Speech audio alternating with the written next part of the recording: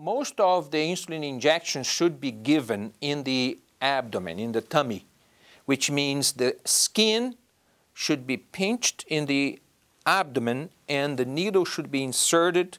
After the injection is given, you pull the needle out with the plunge down so as to make sure that all the liquid stays under the skin.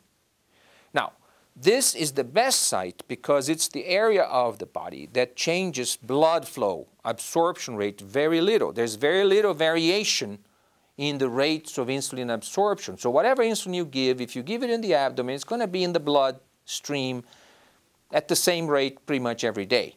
Now, if you give it in the arm and in the legs, it depends on whether you're walking, whether you're using your arms, and that can affect the rapid absorption of insulin and some days it may go in fast, some days it may go in slowly. So you have to be a little bit more careful. But you can use the arms and the legs if you have no room or if you have problems with the abdomen.